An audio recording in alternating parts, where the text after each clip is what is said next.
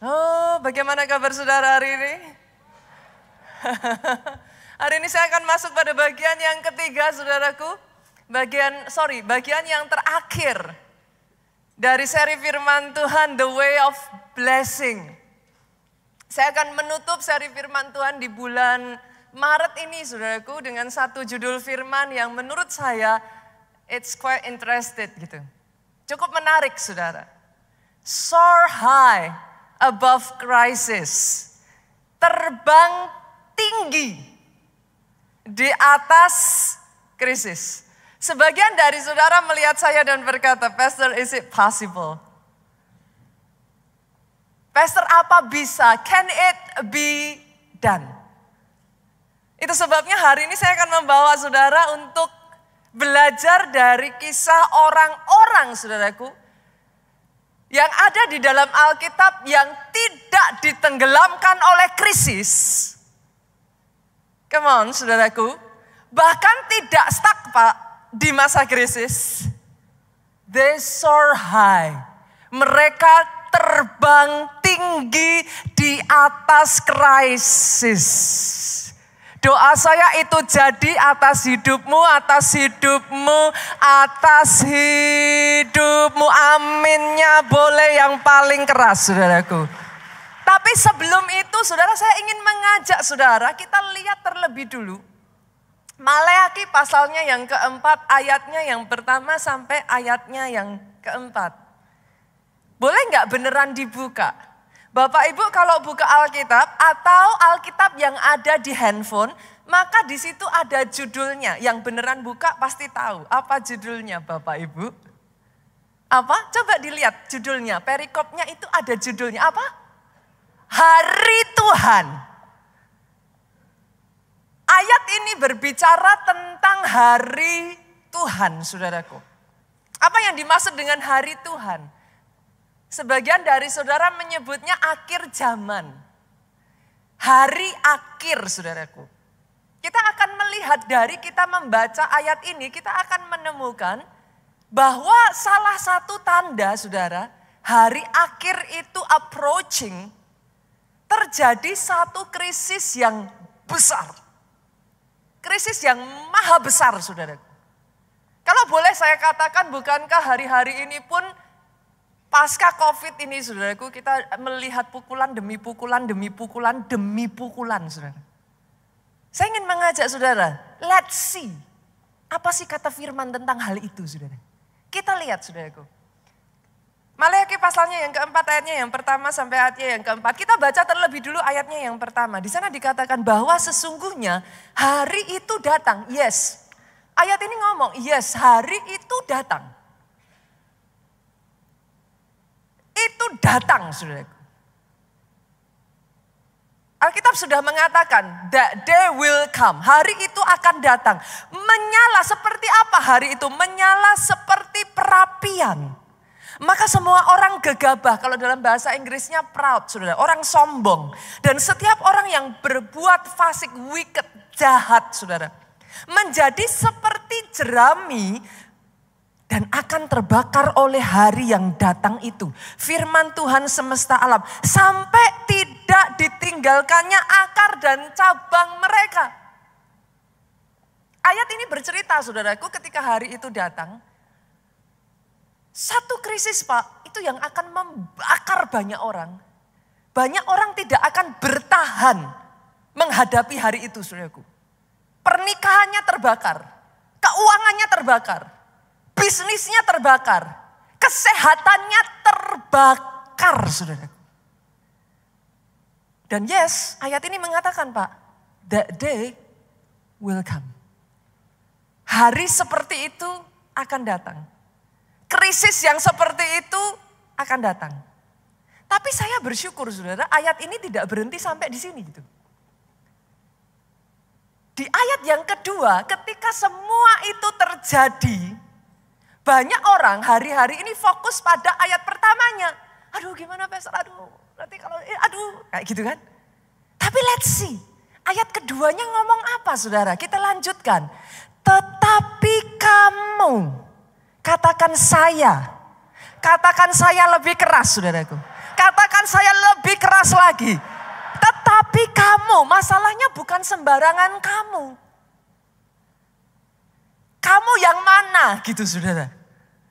Kamu yang seperti apa? Ayat ini berkata, kamu yang takut akan namaku. Siapa ini saudara? Orang-orang yang jalan di jalannya Tuhan. Aminnya yang keras. Orang yang takut akan Tuhan siapa mereka? Orang yang berpegang pada ketetapan dan hukumnya Tuhan. Katakan amin yang keras. Siapa orang yang berpegang kepada ketetapan dan hukum? Orang yang komit pada perjanjian. Tetapi kamu, kamu di sana dikatakan aku, saya, saudaraku. Yang takut akan namaku, apa yang terjadi saudara?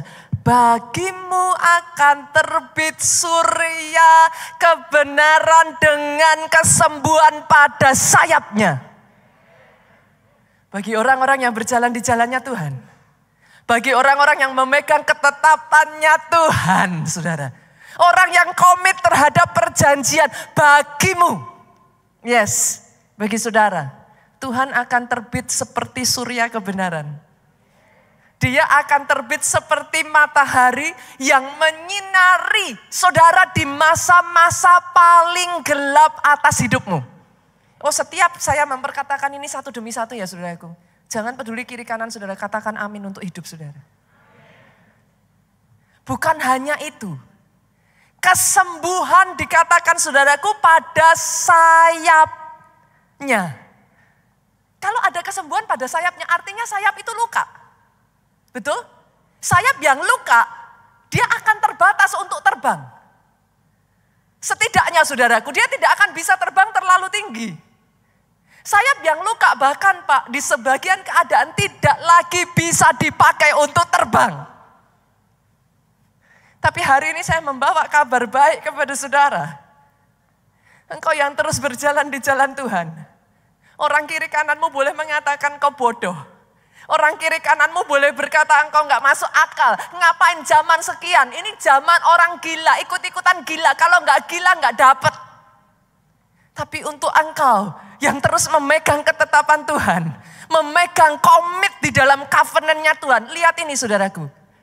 Saya berkata atas kehidupan saudara, ada kesembuhan pada sayapmu. Oh aminnya yang paling keras. Kalau mau tepuk tangan, tepuk tangannya paling meriah buat Yesus Tuhan kita. Ada kesembuhan pada sayap pernikahanmu. Saya berkatakan saudaraku.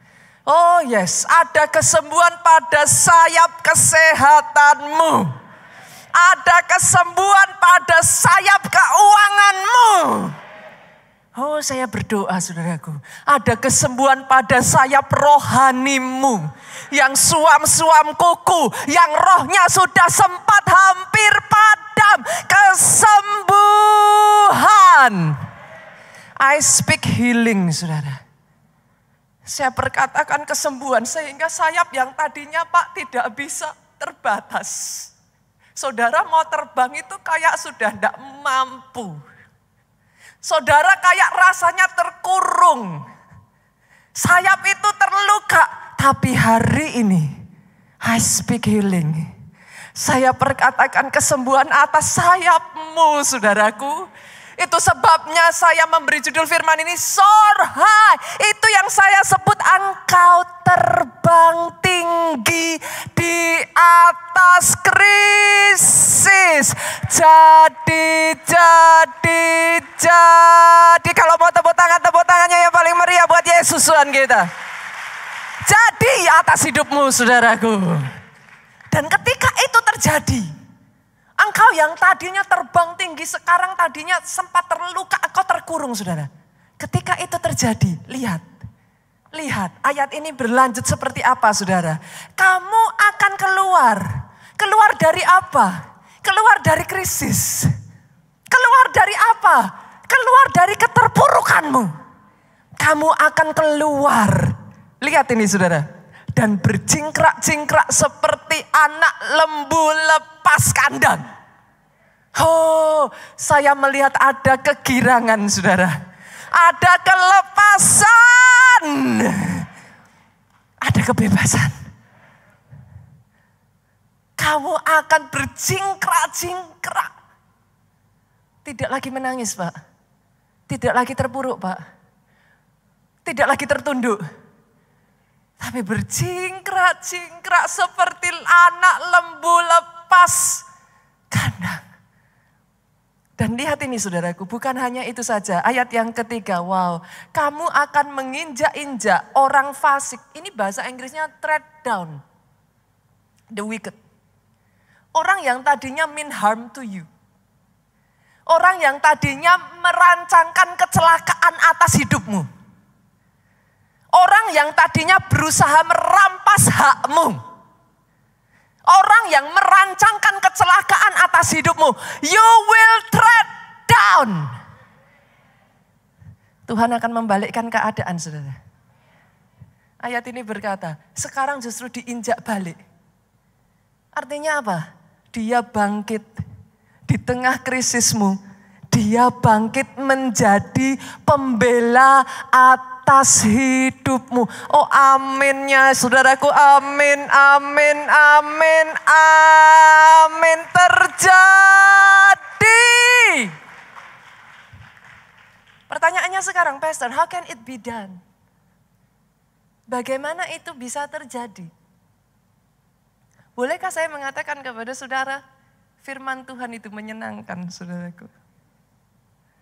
Oh, read the Bible.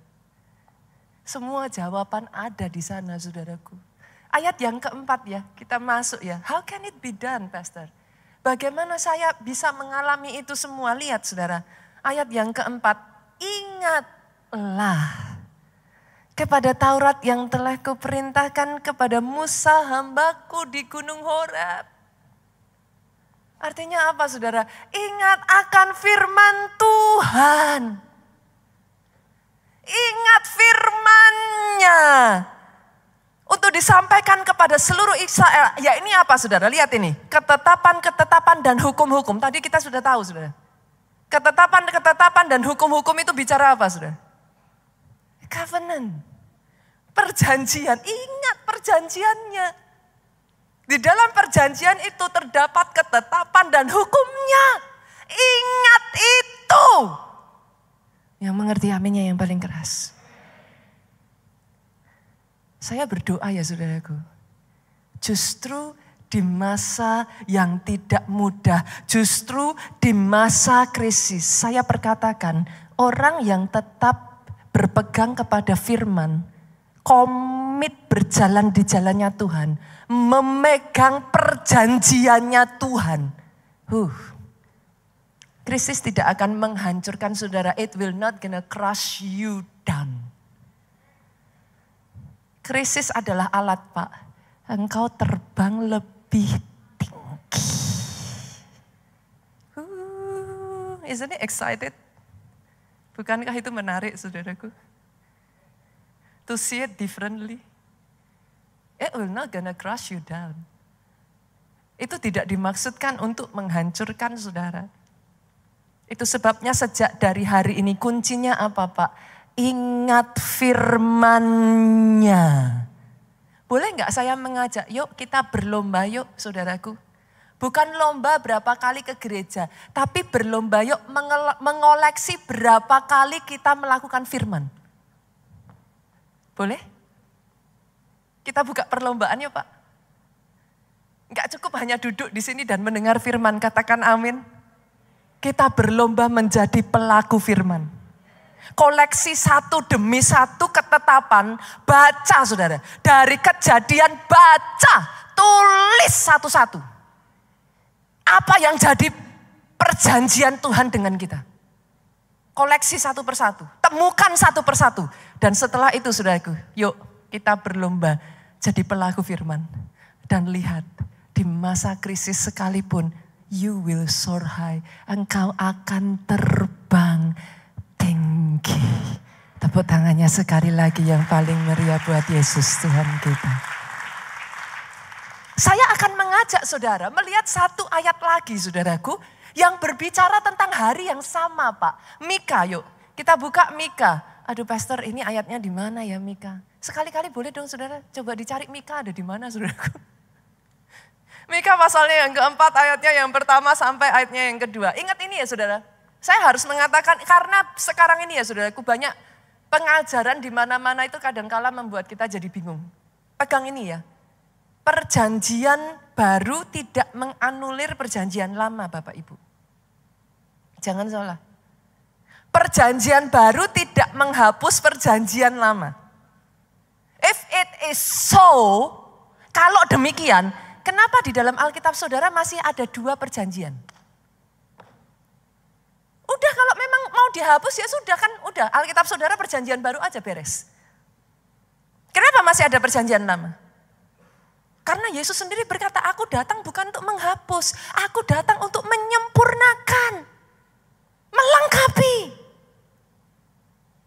Itu sebabnya perjanjian lama dan perjanjian baru saudaraku. Hidup di dalamnya. Jangan dipilih cuman perjanjian baru doang. Yang mengerti katakan amin yang paling keras.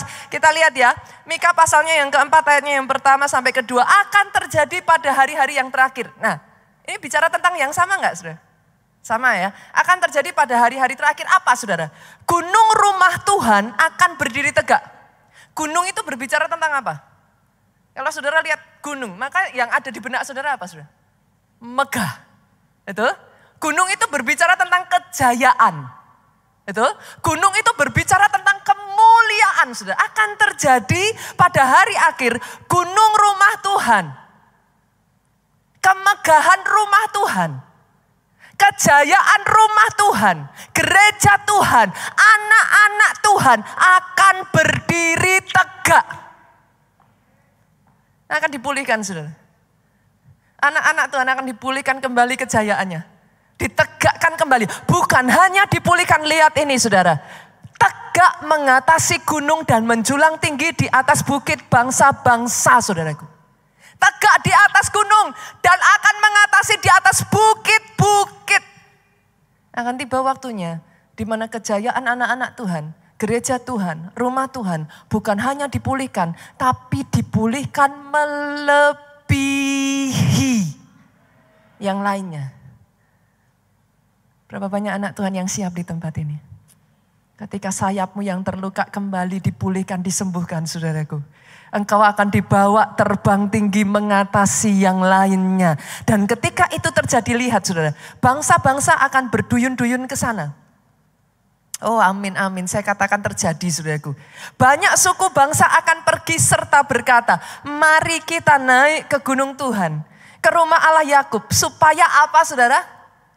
Iya, i besar. Tuhan mengajar kita tentang jalan-jalannya. Oh excited. Yang tadinya yang hanya yang belajar jalannya Tuhan hanya di rumah Tuhan tapi akan tiba waktunya. Mereka datang kepada saudara bertanya seperti apa jalannya. Yang kita belajari saudaraku sekian minggu ini. Sekian bulan ini saudaraku. Akan tiba waktunya. Satu demi satu ketika saudara jadi pelaku firman. Ya mengerti katakan amin. Tidak cukup hanya datang. Nggak cukup hanya dengar. Jadi pelaku. Kenapa? Hanya ketika itu terjadi sayapmu sembuh. Hanya ketika itu terjadi keterbang tinggi. Hanya ketika itu terjadi kau diangkat melebihi. Dan ketika semua itu satu demi satu terjadi saudaraku, orang akan berduyun-duyun datang mencari ke gunung Tuhan. Mereka mau belajar jalannya Tuhan. Secara dunia kita belajar kemarin nggak masuk akal. Dari mana masuk akalnya? Kunci sukses kok bertobat. Saya yakin saudaraku nggak ada yang namanya saudara pergi ke motivator mana pun. Kunci sukses nomor satu bertobat. Ada pernah dengar? Gak ada. Tapi yes it is. Kenapa? Karena kita sebagai anak Tuhan menyadari Pak. Sejak dari mula Tuhan tidak menciptakan engkau ada di keadaanmu sekarang kelimpahan Pak, tidak kekurangan apa pun baik adanya. Dosa adalah akar dari kemiskinan. Sejak dari saat itulah tanah pun dikutuk, saudara. Tapi dua tawarik mengatakan ketika engkau datang kepada Tuhan bertobat, mengaku dosamu, meninggalkan jalanmu yang jahat. Apa kata firman? Bukan hanya engkau diampuni. Oh, I rejoice over this verse, saudaraku. Tanahmu pun I will heal your land. Tanah pun disembuhkan, Pak.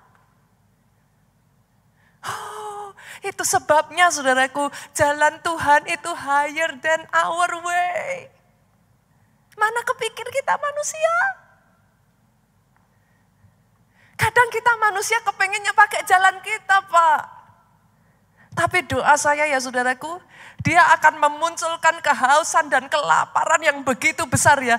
Di hari akhir, lihat saudara, apa yang dinubuatkan di hari akhir? Amos pasalnya yang ke-8 ayat 11 saya perkatakan jadi atas jemaat keluarga Allah. Saya perkatakan jadi atas orang Kristen di Indonesia.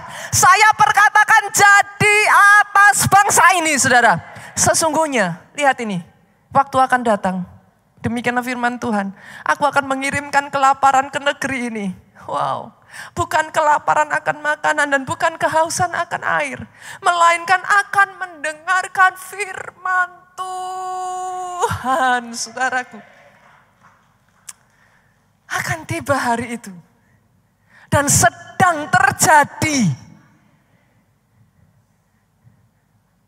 Merasa nggak saudara, hari-hari ini kayak saudara tuh kayak punya kehausan lebih, pengen tahu lagi gitu. Pengen belajar, pengen tahu Kayak apa sih? Dia sedang membangkitkan kehausan yang seperti ini atas hidupmu. Bukan haus akan, bukan haus akan minuman, bukan hanya lapar akan makanan Pak. Tapi akan firman. Yes, karena umat yang mengenal Allahnya akan tetap kuat and shall do exploit. Bukan hanya bertindak, dia mendapat yang terbanyak dari yang Tuhan janjikan atas hidupnya. I'm longing for that day, saudara. Saya berdoa itu jadi atas hidupmu. Itu sebabnya saudara, saya ingin mengajak saudara melihat. Pastor, is it possible? Yes. Ada di masa itu Pak, ada orang-orang yang mengalami krisis besar. Tapi dia bukan hanya bertahan, dia soar high, dia terbang lebih tinggi. Saya akan bagikan dua ya saudaraku, karena waktu kita keterbatasan waktu. Yang pertama namanya adalah Yakub. Kalau saudara masih ingat, di zamannya Yakub pernah terjadi satu masa krisis yang sangat besar di seluruh dunia, Bu. Jadi pandemi seperti ini Bukan hanya saat ini loh Pak, jangan salah. It happened long long time ago. Saudara masih ingat ketika Firaun mendapat penglihatan tujuh tahun masa kelimpahan, tujuh tahun masa kekurangan? Masih ingat? Itu zamannya Yakub, saudara. Masih ingat pada saat itu Yusuf diangkat menjadi perdana menteri di Mesir. Itu zamannya Yakub, saudara. Yes, Mesir itu berkelimpahan. Tujuh tahun itu masa kelimpahan luar biasa.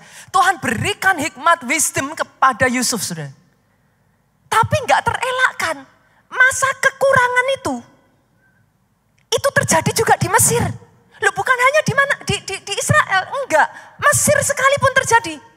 Rakyat Mesir, kalau saudara baca nanti di kejadian saudara bisa temukan saudaraku. Rakyat Mesir itu sampai menjual semua aset hak milik mereka apa segala macam ke Yusuf. Masih ingat kan kisahnya masih ingat. Sudah dijual, gak cukup pak. Mereka jual lagi ladangnya. Masih ingat ya, saudara nanti baca deh kejadian, pasti ketemu.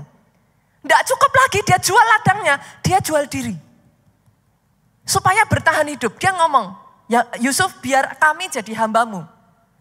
Supaya kami bisa tetap hidup. Artinya saudaraku, itu kelaparan yang begitu besar. Nah masalahnya banyak ketika kita baca Alkitab, itu kita tidak mengaplikasikan ke zaman sekarang saudara. Akhirnya kadang kalau nggak hati-hati banyak loh saya menemukan orang Kristen yang menganggap Alkitab itu seperti dongeng. Itu kan dulu Pastor. Come on, you say you believe in the Bible. You believe, but do you believe? Itu yang sering kali jadi masalah saudara. Saudara nggak mengaplikasikan. Pernah kebayang nggak di masa itu Alkitab itu mencatat loh saudara. Yakub itu ngirim anak-anaknya untuk beli gandum dari Mesir. Itu apa namanya? Kalau zaman sekarang itu apa namanya? Dia impor, saudara. Yang mengerti katakan amin.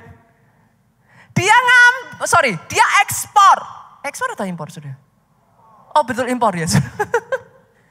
dia ngambil anaknya diutus pergi ke Mesir beli gandum.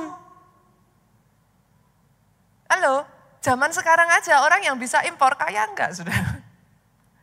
Yang mengerti katakan amin. Di masa yang krisis seperti itu, ya aku bisa impor makanan. Dan gak cuma sekali.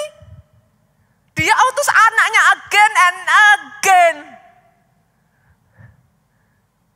Kok bisa? Ini di masa krisis loh saudara. Bolehkah saya katakan ini? Engkau punya nenek moyang, engkau punya pendahulu, orang-orang, raja wali-raja wali yang bertahan di masa krisis. Saudara.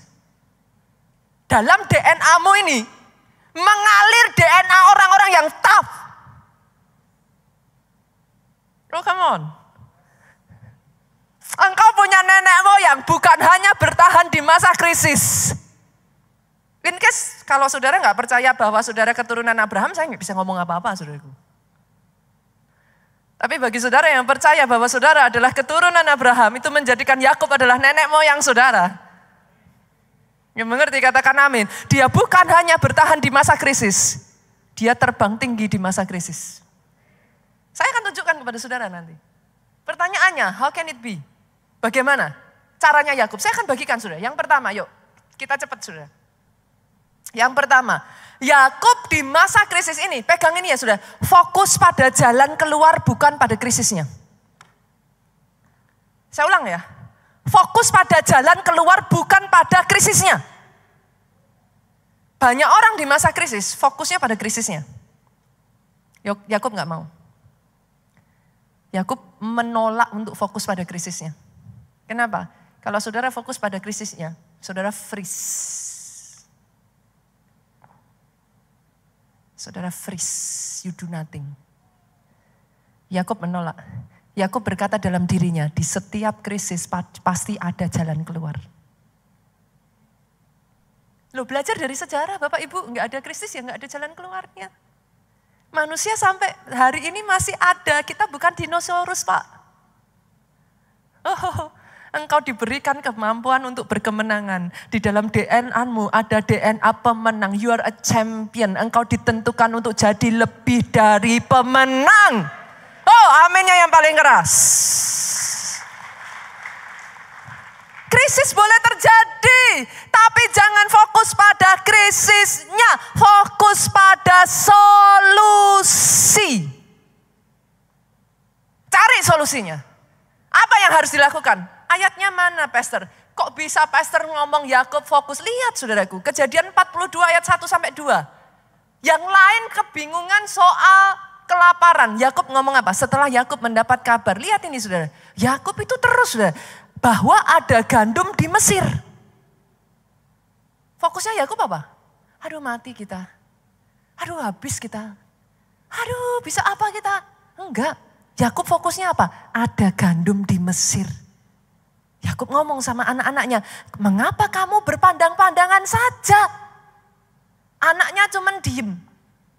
Tapi Yakub ngomong, lagi katanya diulang sama anaknya, telah ku dengar ada gandum di Mesir, pergi ke sana. Beli gandum. Lihat saudara, saudara melihat perbedaan? Antara Yakub dengan anaknya, anaknya masih gini. Yakub bilang, go, itu loh ada pegandum di Mesir, sudah. Yakub tidak mau menyerah, saudaraku. Yang kedua, dia bukan hanya belajar untuk melihat. Dengar ya, saudaraku. Di setiap masalahmu ada solusi. Yang mengerti katakan amin. Do not listen to the lie of the devil. Jangan dengar kebohongan iblis bahwa tidak ada penyelesaian untuk masalahmu. Masalah sudah ada sejak dari zaman dulu, Pak. Tahun 98, Indonesia mengalami masalah yang enggak ringan. Saya ada di kota Solo, saudara. I don't know. Jakarta saya dengar lebih parah, saudara. Buat saudara yang pernah ada di tahun 98, you know what I mean. Kekacauan begitu rupa, Pak. Saya sendiri di kota Solo, saudaraku, gedung-gedung semua dibakar. Saya masih ingat waktu itu saya pulang sekolah, dipulangkan cepat, saudaraku. Dikunci, gang-gang apa semua dijaga ketat, saudara. Kekacauan begitu rupa. Saat itu dolar naik sampai berapa kali lipat, saudara zaman itu kalau saya nggak salah tuh 2000 2500 ya Bapak Ibu ya. Itu dolar naik sampai 15 ribu, berarti berapa kali lipat? 6. 6 kali lipat sudah. Setidaknya waktu itu. Pertanyaan saya, saudara masih hidup hari ini?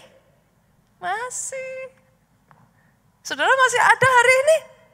Apa yang kau takutkan? Yang mengerti katakan amin. Fokus pada solusi, jangan pada krisisnya. Yang kedua, jangan menyerah. Di tengah masa krisis ya saudara, yang paling saudara butuhkan adalah stamina dalam dirimu untuk berkata, I will never give up. Either saudara yang menyerah atau krisisnya yang menyerah sama saudara itu aja saudaraku. Selama kau tidak menyerah, pasti ada jalan. Yakub tidak mau menyerah.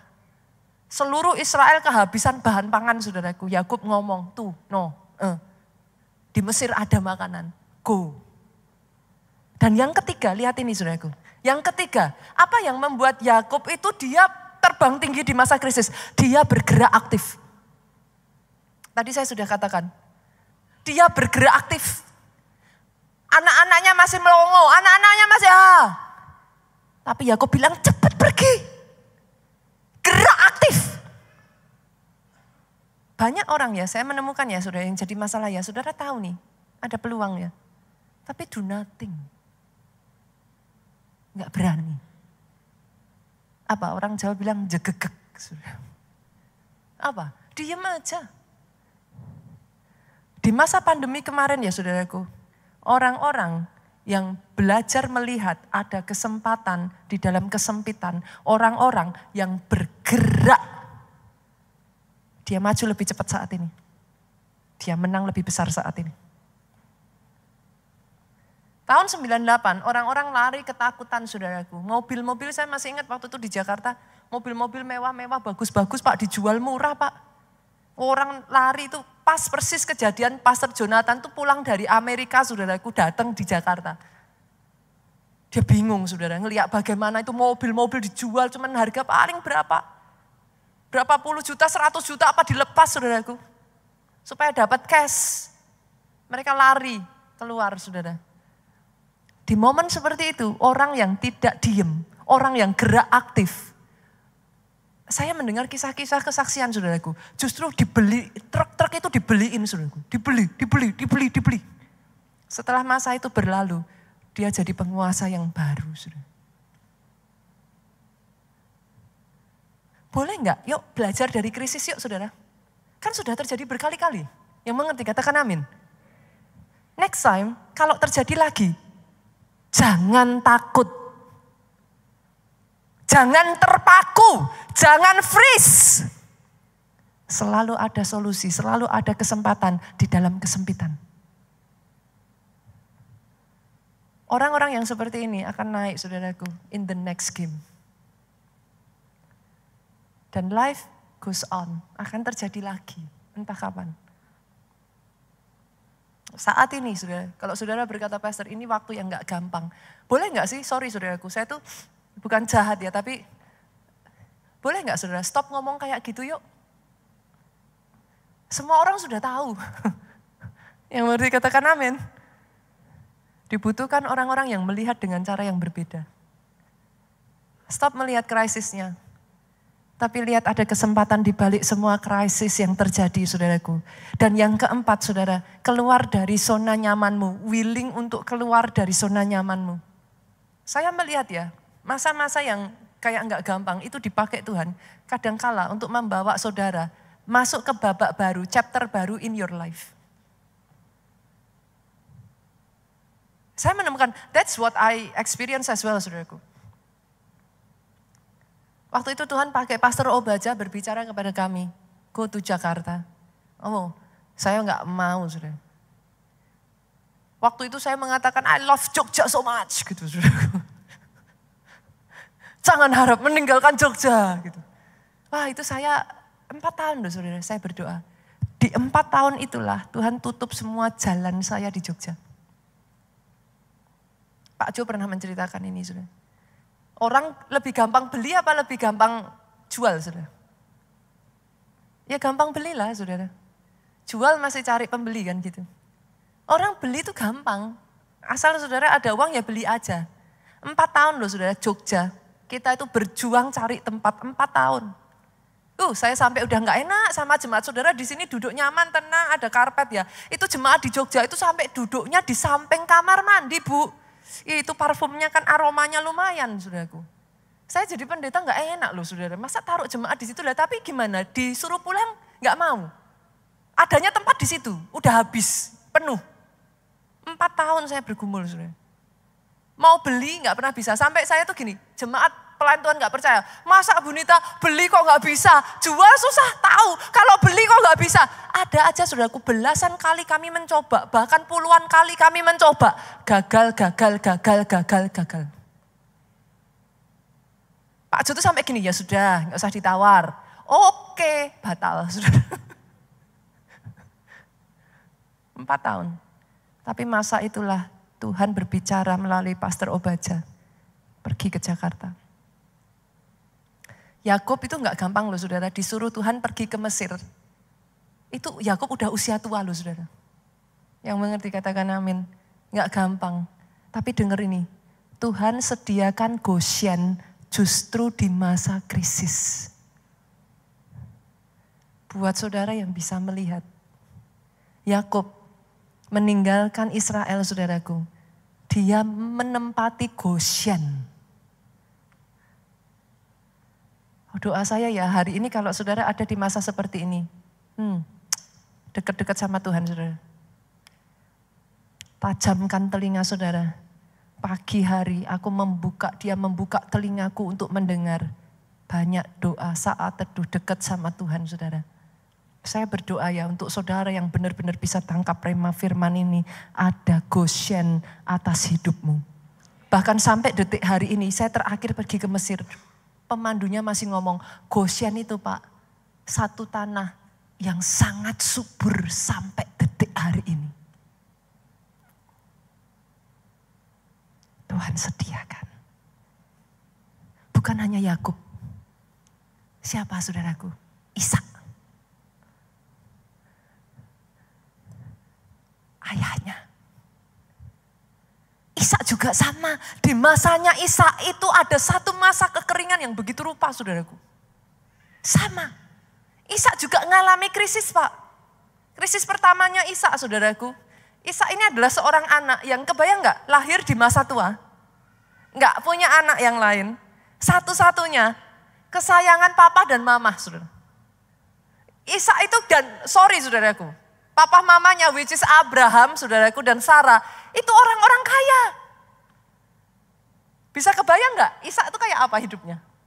Itu udah kayak pangeran, saudara. Krisis pertama Isa terjadi. Kalau saudara nanti lihat, pasal 24. Pasal 23 masuk 24 itu nanti saudara akan temukan saudaraku. Sarah meninggal. Sarah meninggal. Itu krisis pertamanya Isa, saudara. Kebayang nggak? seorang anak itu biasanya lebih dekat ke mana sudah? Mama. Ini anak satu-satunya. Kayak apa sudah? Kehilangan mama. Gak gampang. Kadang kita baca Alkitab nggak pernah terpikirkan, saudara. Gak, karena nggak diaplikasikan, saudara. Kita cuman baca seperti kayak sambar out there aja. Oh ya, rip, uh, apa namanya Sarah meninggal, that's it. Saudara nggak kepikir bagaimana ketika Sarah meninggal itu pukulan seperti apa buat Isa. Tapi lihat saudara, kita buka ya. Kejadian pasalnya yang ke-24. Apa yang terjadi setelah Sarah meninggal? Lihat ini saudara. Ini sesuatu yang unik sekali. Pasal yang ke-24 saudaraku. Lihat. Ayatnya yang ke-67. Saudara nanti lihat ya. Ishak mendapat pasangan hidupnya yaitu Ribka. Setelah krisis, ada berkat. Yang mengerti katakan amin? Kadang Tuhan izinkan sesuatu diambil dalam hidupmu. Saudara meronta-ronta mempertahankan apa yang Tuhan ambil. Tapi Tuhan memberikan sesuatu yang lebih baik dalam hidupmu. Maafkan saya, saya tidak mengatakan bahwa kehilangan uh, Sarah terus kemudian Ribka dapat istri Ribka itu lebih baik daripada kehilangan Sarah. Not, that is not what I mean, saudaraku. Tapi Tuhan punya masa depan untuk engkau. Apa yang sudah di belakang, tinggalkan. Jangan terus dipegang. Jalan bersama dengan Tuhan. Dia menyediakan di setiap krisis ada anugerah.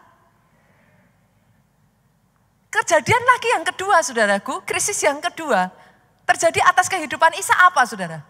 Kali ini Abraham yang meninggal pak. Oh, kehilangan mama nggak gampang saudara.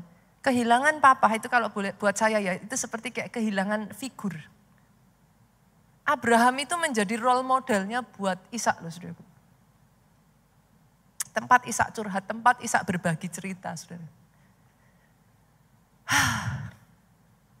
Tapi coba baca. Kejadian 25 yuk kita lihat.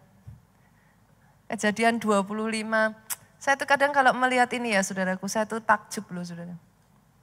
Amazing. Ayatnya yang ke-11 bagian A. Setelah Abraham mati, setelah Abraham meninggal, Allah memberkati Isa anaknya itu. Wow. Kadangkala ya saudaraku, certain death brings blessing. Saya ulang ya saudara. Ketika Tuhan membuat bagian tertentu dalam hidupmu itu mati, kedaginganmu dimatikan. Ada banyak hal kadang itu ditarik, diambil sama Tuhan ya saudaraku. Bukan untuk karena Tuhan gak sayang, but He wants to bring blessing. Kadang seperti Ishak gini ya saudaraku, diizinkan saya hanya berdoa ya saudara. Dalam kehidupan kita nih ya saudara, there is a season of life. With all due respect, saya paham ada orang-orang di sini yang mungkin dalam kehidupan saudara-saudara diizinkan mengalami kehilangan yang gak gampang. Tapi boleh gak saudaraku izinkan kita berproses di dalam semuanya itu. Karena ketika saudara izinkan dan belajar untuk mempercayakan itu kepada Tuhan. Karena kalau kita pikirkan nggak masuk akal Pak. Kadang nggak kita nggak pernah bisa ngerti. Karena memang pikiran Tuhan bukan pikiran kita. Selalu akan ada yang saudara sebut sebagai misteri Allah gitu saudara. Kita nggak nyampe untuk memahami. Tapi kadang kala saya menemukan dalam kehidupan orang-orang itu ya. It marks the beginning of new season gitu new chapter di dalam kehidupannya. Boleh nggak saudara? Percaya yuk sama Tuhan. Karena he doesn't mean any harm. Rancangannya, rancangan damai, sejahtera, mendatangkan hari depan yang penuh dengan harapan.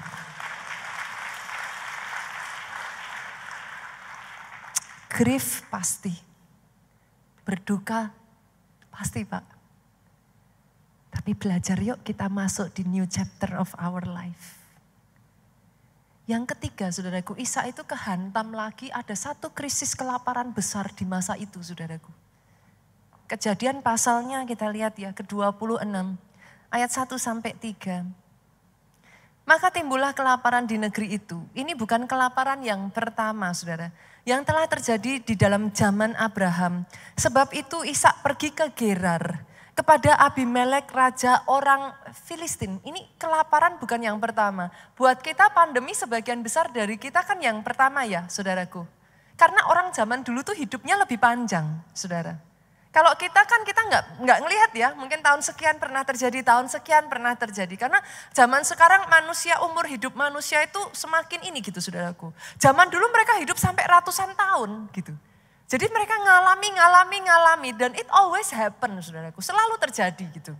Bukan yang pertama dikatakan. Tapi lihat saudara, lihat ini. Boleh nggak saya katakan ini? Di masa krisis saudaraku. Lihat ini, di masa krisis.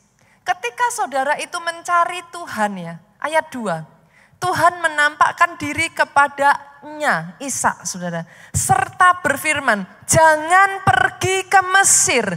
Diamlah di negeri yang akan kukatakan kepadamu. Tinggallah di negeri ini sebagai orang asing, maka aku akan menyertai engkau dan memberkati engkau serta keturunanmu. Dan selanjutnya, saudara.